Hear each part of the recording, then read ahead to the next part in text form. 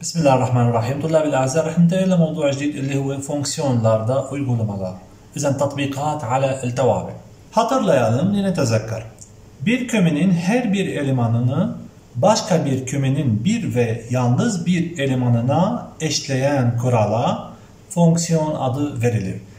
عم بذكرني انه نحن اذا كان عندي علاقه بين مجموعتين لاحظوا المجموعه A والمجموعه B عم بيشرط علي انه كل عنصر من المجموعه A. إذا كل عنصر من المجموعة A بيرتبط بعنصر واحد من المجموعة B. كنا هالعلاقة بنسميها fonksiyon هذا الشيء اللي أخذناه بصف العاشر السنة الماضية. A kümesine إذا المجموعة A شو كنا بنسميها؟ tanım kümesi مجموعة تعريف التابع. B kümesine إذا المجموعة B شو هي؟ değer kümesi إذا مجموعة değer مجموعة قيم التابع. أو عفوا مجموعة التعويض. V اف ا ولكن هي المجموعة يلي بس قيم قيم التابع بس عم تتجمع بس بمجموعة الاف ا شو كنا بنسميها؟ هي بنسميها görüntü kümesi verilir. إذا كنا بنسميها ال görüntü اللي بس المجموعة اللي قيم يعني قيم الا كلها عم تنحصر بس بهالمجموعة كنا بنسميها ال görüntü من الأشياء الجديدة اللي بدنا نتعلمها بال fonksiyon إنه هي إمتى بيكون عندي التابع بيكون موجب وإمتى بيكون سالب. لاحظوا أنا عندي fonksiyon بهذا الشكل. القسم دوما اللي بيكون فوق محور الإكسات هذا الأجزاء اللي بتكون موجبة من ال fonksiyon. ولما الأجزاء بتكون بالأسفل راح تكون سالبة. لاحظوا هون سالب سالب سالب بينما بالأعلى موجب. بالقسم الأعلى موجب. اذا bu grafikte y eşittir fx fonksiyonun daima pozitif olduğu aralık اذا المجالات اللي بيكون فيها دائما موجب x ekseninin üstünde اذا بتكون فوق محور الإكسات. kalan اذا اذا kalan kısmıdır. طبعا القسم المتبقي فوق محور الاكسات. daima negatif olduğu aralık والقسم اللي دائما سالب x ekseninin altında kalan kısmıdır. هو القسم المتبقي أسفل محور الاكسات. من ضمن المواضيع شباب اللي لازم نتعلمها عن ال fonksiyon هي إمتى بيكون له نقطة نهاية عظمى ونهاية صغرى بنسميها وأيضا إمتى بيكون متزايد وإمتى بيكون متناقص. بتكون عندي نقطة النهاية العظمى لما بتكون بيكون بجزء قبله بيكون متزايد بعدين بيتحول لمتناقص أو بيكون كان متناقص عكس اتجاهه صار متزايد. إذا لو أنا أخذت المجال ما بين A و J لاحظوا من A ل J بلاحظ عندي نقطة نهاية عظمى اللي هي هون ونقطة نهاية صغرى اللي هي هون. إذا النقطة النهاية العظمى D و K إحداثياتها إكساتها D وياتا K حطتني نقطة نهاية عظمى بنسميها maksimum nokta و minimum nokta اللي هي النهاية الصغرى إكساتا إي واياتا إف إذا fonksiyon A J aralığında إذا في المجال من A ل ما بين A و J maksimum nokta DK لاحظوا DK maksimum nokta و minimum nokta والنقطة الصغرى هي A و F. عم بيعطيني هون شرط إمتى بيكون التابع متزايد وإمتى بيكون متناقص؟ عم يقول لي إذا كان إكس واحد واكس اثنين بينتموا لمجال لآر يعني لمجموعة الأعداد الحقيقية olmak üzere إذا كان إكس واحد أصغر من إكس اثنين وأيضا كان اف الاكس واحد أصغر من اف الاكس اثنين يعني العلاقة طردية ما بيناتهم. لاحظوا الاكس واحد أصغر من إكس اثنين فصورة إكس واحد أصغر من صورة إكس اثنين فهذاك الوقت بيكون التابع هذا التابع ضمن هالمجال يعني من x1 ل x2 بيكون artan بيكون متزايد. هلأ بنرسم رسمة صغيرة بنشوف كيف. ولاحظوا وبالحالة المعاكسة إذا كان x1 أصغر من x2 لكن بالعكس صورة x1 أكبر من صورة x2 فهذاك الوقت بيكون التابع بالمجال ما بين x1 و x2 بيكون متناقص. لاحظوا شباب إذا أخذنا على التابع المتزايد مثلا هاي محور الإكسات وهذا محور الوايات. أنا عندي تابع بهذا الشكل هيك كان شكله. إذا أخذت x واحد هي x واحد. قلنا أصغر من x 2 يعني خليني آخذ x 2 هون. إذا لاحظوا الاكس واحد أصغر من x 2 طيب تعالوا نشوف الوايات تبعيتهم هدول. بلاحظ الواي واحد لو أنا أخذت خط هذا الواي واحد. لو أخذت خط من هون هذا الواي 2 بلاحظ الواي واحد أصغر من الواي 2 فهذا التابع هذا شو بيكون؟ اذا artan. طيب ناخذ مثال ثاني على تابع ثاني نشوف كيف بيكون شكل التابع ال azalan طيب بهذا الشكل لو أنا أخذت إكس واحد أصغر من إكس 2 يعني أخذت الإكس واحد هون الإكس 2 هاي إكس 2 هون بلاحظ الواي واحد شوفوا وين؟ هذا الواي واحد على العالي بينما الواي 2 أصغر منه. إذا طلع معي الواي طبعا هذا الواي 2 وهذا الواي 1 بلاحظ الواي 2 أصغر من الواي 1 فهذا التابع بيكون azalan. اذا شباب هذا ال fonksiyon اللي عندي لاحظوا كيف؟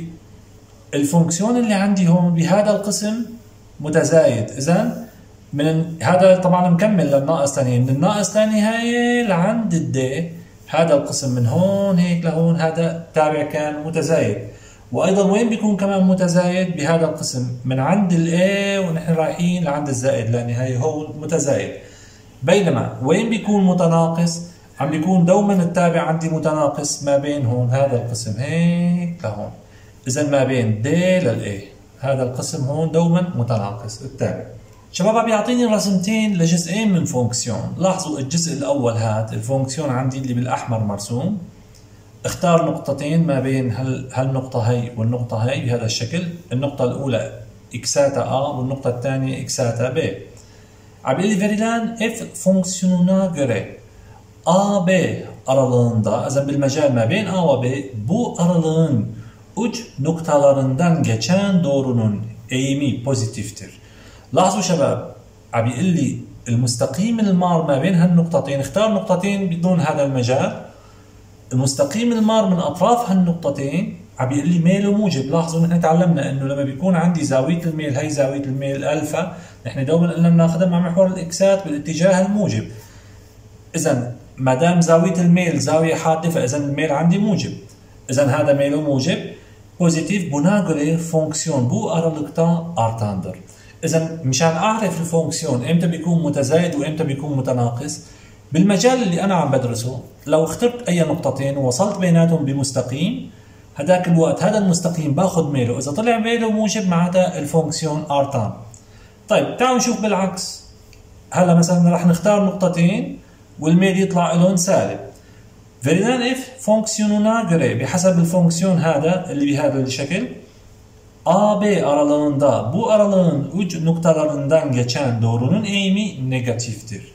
إذا لاحظوا عندي هذا ال fonksiyon اللي مرسوم بالأحمر اختار هالنقطة هي عند ال A والنقطة هي عند ال B ورسم مستقيم بيناتهم. ميل هذا المستقيم نحن بنعرف قلنا الميل إذا بس كان أكبر من زاوية 90 راح يكون سالب.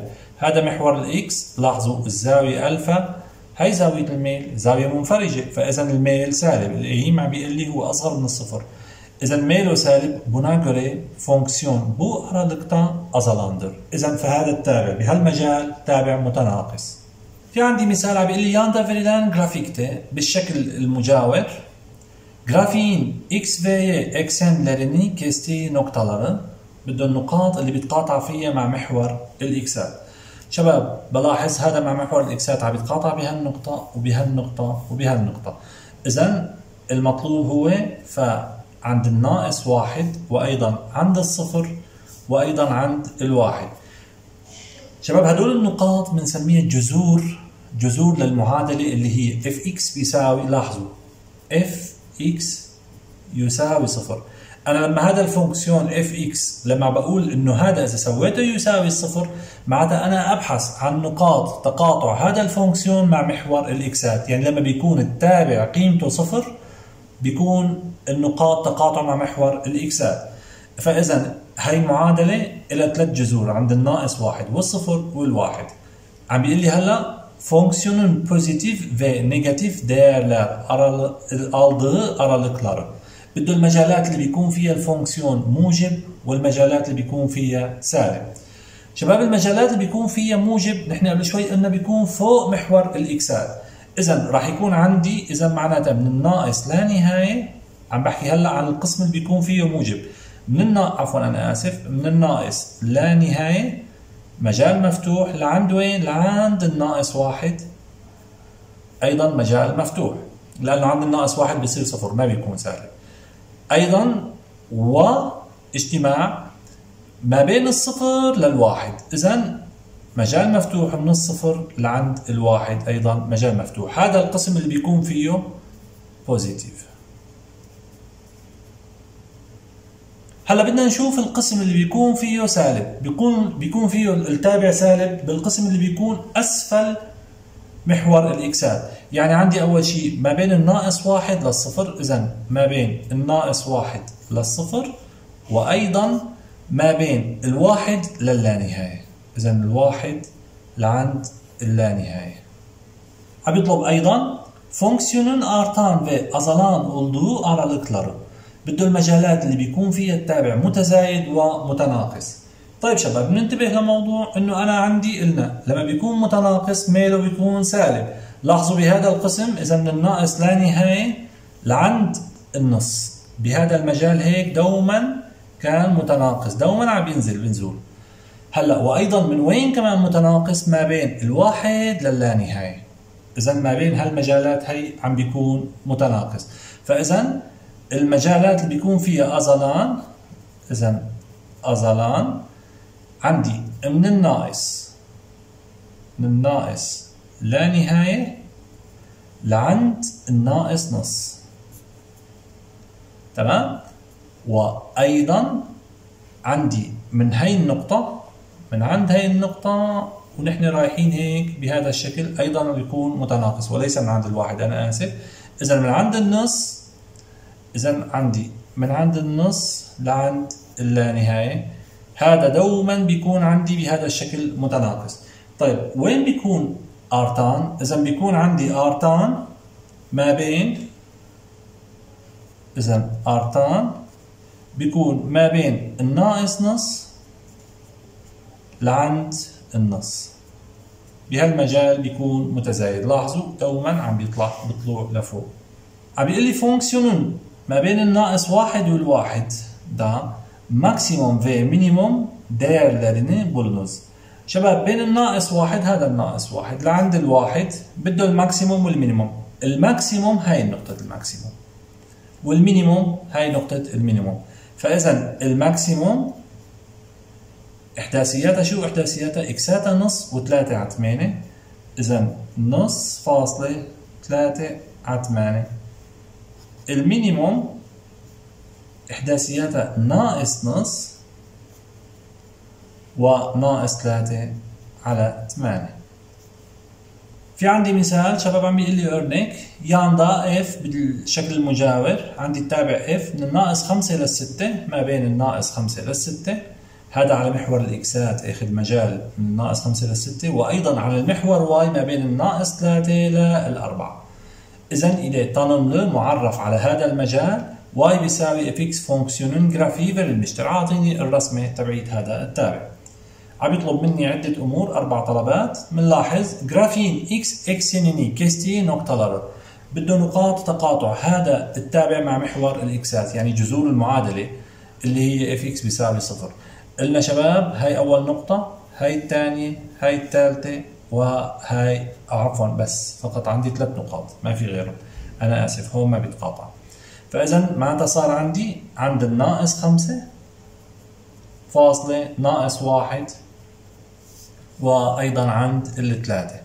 هدول هن نقاط تقاطعوا مع محور الإكسات Fonksiyonun pozitif ve negatif olduğu aralıkları المجالات اللي بيكون فيها موجب واللي بيكون فيها سالب بنلاحظ شباب الأقسام اللي بيكون فيها موجب ما بين الناقص خمسة والناقص واحد عم بيكون فوق محور الإكسات إذا معناتها شباب الأقسام اللي بيكون فيها موجب راح أكتبها معلش راح أكتبها هون.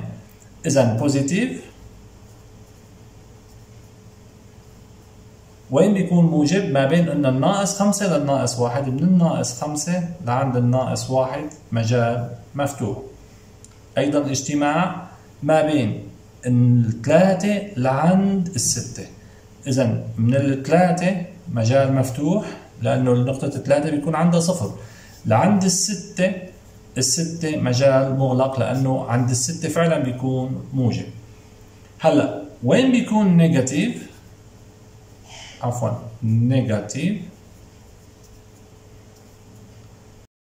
بيكون negatif ما بين الناقص واحد لعند الثلاثة. إذا ما بين الناقص واحد لعند الثلاثة بهذا الشكل بيكون negatif. عم يطلب أيضا fonksiyonun maksimum minimum olduğu noktaları نقاط ال maksimum وال minimum شباب بنتبه ضمن هذا المجال بدي أعلى نقطة وأخفض نقطة. بلاحظ هاي النقطة أعلى من هاي فاذا هاي هي ال maksimum وال minimum هاي هي نقطة ال minimum. اذا ال maksimum معلش ما في داعي أكتبها اذا اكساتها ناقص 3 واياتها 4 معلش راح أكتبها هون ناقص 3 4 هي نقطة ال maksimum. ال minimum احداثياتها واحد ونص ناقص 3 اذا واحد ونص ناقص 3 fonksiyonun 3 للخمسة ve ناقص 3 ناقص 1 aralıklarında ortalama değişim hızını bulup عم بيقول لي أوجد لي. ما بين المجال بين الثلاثة والخمسة من الثلاثة للخمسة لاحظوا. ما بين الثلاثة للخمسة وأيضا ما بين الناقص ثلاثة والناقص واحد. شباب بين الثلاثة والخمسة لما الإكس عند الثلاثة والخمسة لاحظوا يعني هاي هون بين الثلاثة والخمسة فإذا اخترت أنا هاي النقطة وهاي النقطة. لاحظوا لو رسمت خط هذا الخط هيك بهذا الشكل راح يكون عندي ما بين الثلاثة والخمسة يعني عند ال fonksiyon. عم يطلب مني ال ortalama değişim hızı. ال ortalama değişim hızı شباب هو نفسه ميل ميل المستقيم. فراح آخذ فرق الوايات على فرق الإكسات.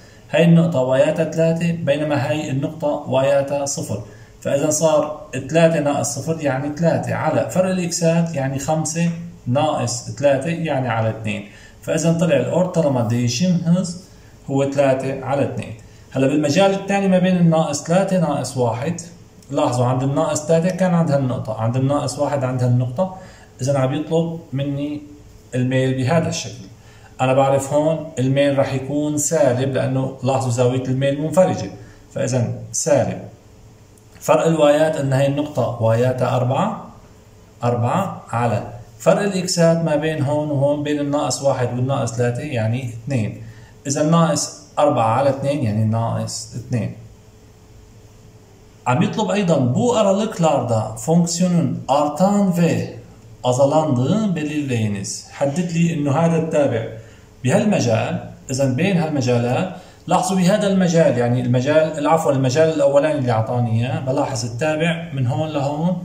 شو كان وضعه؟ artan ولا azalan؟ ما دام الميل موجب فاذا هون كان عندي artan بهذا القسم شباب هون بيكون عندي azalan لأنه الميل سالب بهيك شباب بيكون وصلنا لنهاية القسم الأول من بحث ال fonksiyon. شكرا كثير لأصغائكم.